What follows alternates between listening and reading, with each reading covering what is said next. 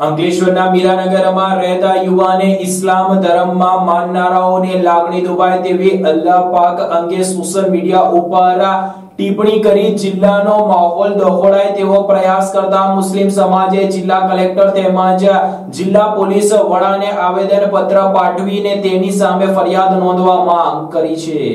અંકલેશ્વરના યુવાને સોશિયલ મીડિયામાં અલ્લાહ પાક અંગે અભદ્ર ટિપ્પણી કરતા મુસ્લિમ સમાજ દ્વારા જિલ્લા કલેક્ટરને આવેદનપત્ર પાઠવી કડક કાર્યવાહીની માંગ કરવામાં આવી હતી. ભરૂચ અને અંકલેશ્વરના મુસ્લિમ આગેવાનો દ્વારા જિલ્લા કલેક્ટરને આવેદનપત્ર પાઠવવામાં આવ્યું હતું, જેમાં જણાવ્યા અનુસાર, અંકલેશ્વરમાં શાંતિનગર, મીરાનગરમાં રહેતા નીતિશ સિંઘ નામના ઈસમે સોશિયલ મીડિયામાં અલ્લાહ પાકના વિરોધમાં અભદ્ર ટિપ્પણી કરી છે. જે અભદ્ર ટિપ્પણી થી સમગ્ર મુસ્લિમ સમાજની લાગણી દુભાઈ છે અને આવી વ્યક્તિ દ્વારા સમગ્ર જિલ્લામાં કોમી વેમનસ્ય ફેલાવવી, વાતાવરણ દહોડાય તેવી પરિસ્થિતિ ઊભી કરી છે. જેથી આસામ સામે કડકમાં કડક કાર્યવાહી કરી તેની સામે પોલીસ ફરિયાદ દાખલ કરવાની માંગ મુસ્લિમ સમાજ દ્વારા કરવામાં આવી છે.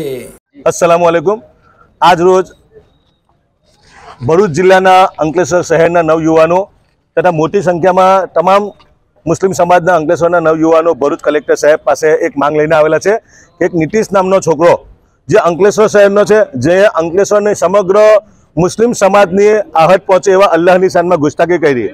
આવા તત્વો વારંવાર મુસ્લિમ સમાજના પેગમ્બરો અને અલ્લાહની શાનમાં ગુસ્તાકી કરે આ લોકો દ્વારા ત્યાંના સ્થાનિક પોલીસને જાણ કરી સ્થાનિક પોલીસે કોઈ કાયદેસરની કાર્યવાહી ન કરતા જો સમગ્ર અંકલેશ્વર શહેરના મુસ્લિમ સમાજના નવયુવાનો દ્વારા ભરૂચના કલેક્ટર સાહેબ પાસે આવી અને રાજ્યપાલ, રાષ્ટ્રપતિ, ગૃહ સચિવ અને ગૃહમંત્રી અને મુખ્યમંત્રીને સંબોધીને એક આવેદનપત્ર આપ્યા છે કે આ વ્યક્તિની સામે ફોજદારી કાર્યવાહી થઈ જોઈએ. એને પકડીને તાત્કાલિક જેલના સરિયા પાસે ધકેલવામાં આવે.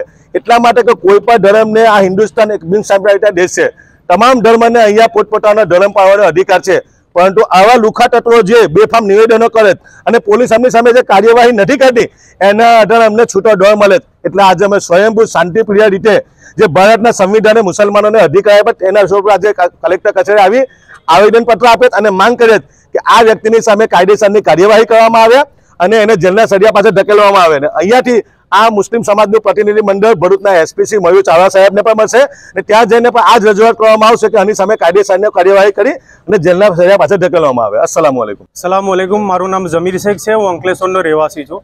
અંકલેશ્વરમાં નીતિશ કરીને છોકરાએ જે અભદ્ર ટિપ્પણી અમારા અલ્લાહની શાનમાં કરી છે ખરેખરમાં બહુ ખોટી ટિપ્પણી કરી જેમાં ગાળો બેફામ લખવામાં આવી છે અને એણે કાયદાનો કે એનો કશો ભાન એણે રાખ્યો નથી.